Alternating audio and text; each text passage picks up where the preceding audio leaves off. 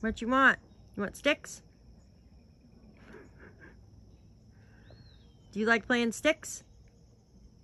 You wanna go play sticks? Her face. Do you like when I throw the sticks? You wanna play sticks? You like fetching the sticks?